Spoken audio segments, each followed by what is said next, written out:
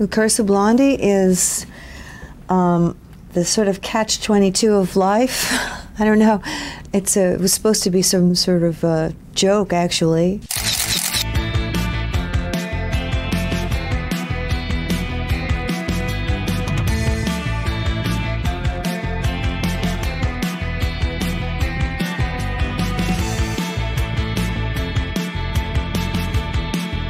She's really from a time and place in New York that is, is almost like um, mythology, and she's uh, stood the test of time.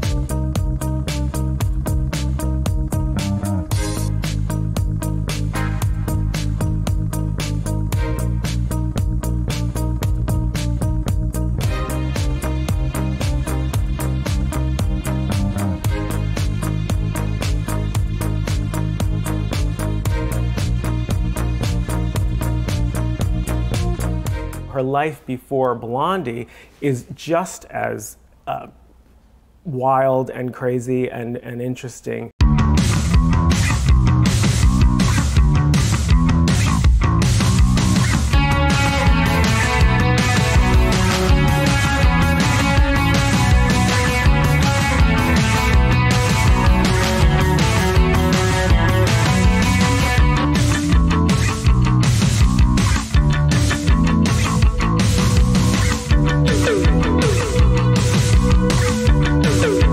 Of the reason that Blondie has been sort of always noted for being an explosive kind of uh, ensemble was because we didn't really put together a group that was mostly, you know, just sort of sidemen. We tried to find people that were as charismatic as possible, and and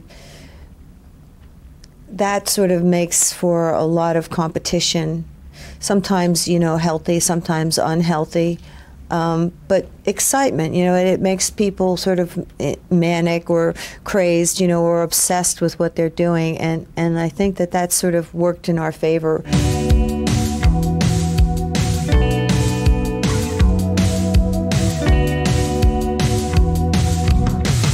When you become one of the first of anything, which she is kind of one of the first of this female fronting a band, uh, the blonde. I mean, there's hundreds after her. When you're the first, your icons, your iconography sort of solidifies. I sort of went through a stage where, when I was performing, where I, I just didn't want to wear anything, and I really very often took my clothes off. You know, various, you know, different parts of my clothing, or, or all of my clothing, or whatever it was, and um, it's sort of I don't know what that is, what that's really about, except that you know you're just prepared for, you know, to to you know be there, be all of you.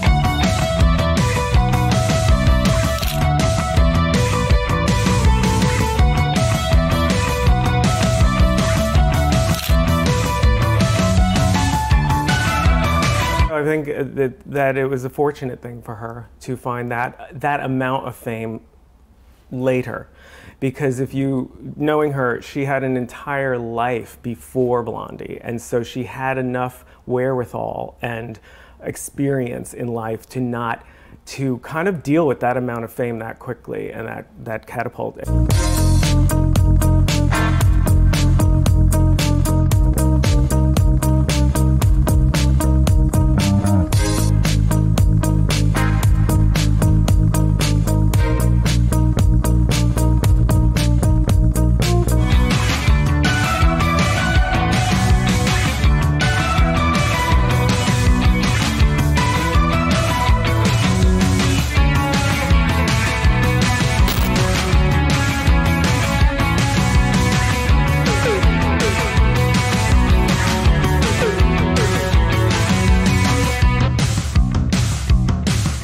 I guess my primary things are environmental right now, but uh, I've been known to do appearances for all kinds of different charities.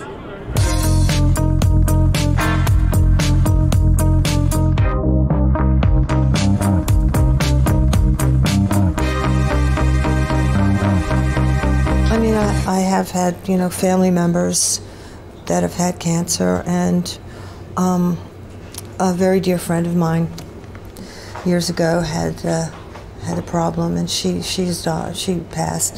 So uh, yeah, I, I think it touches everyone's life, and you know, it's something that we should really be able to take care of.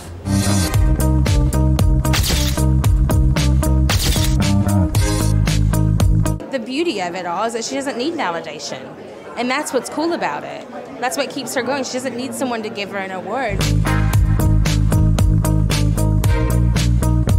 Inside, I always want to wear, you know, the sort of look that I've always worn. But um, I've sort of become, uh, I guess, self conscious in a way about dressing more my age. But basically, I try to feel uh, gorgeous and comfortable and sexy, you know, and however that plays out, that's it.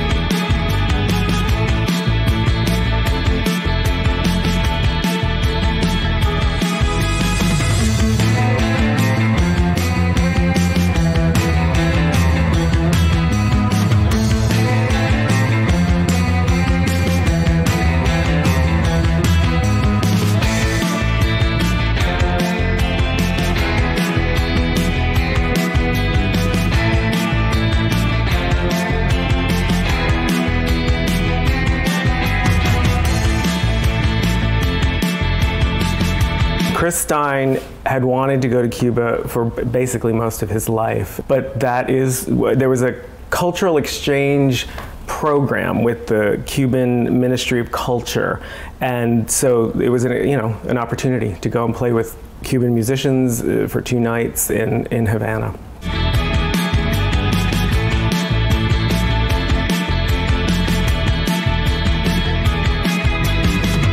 They've formed this culture that is unique and beautiful and has been an influence around the world.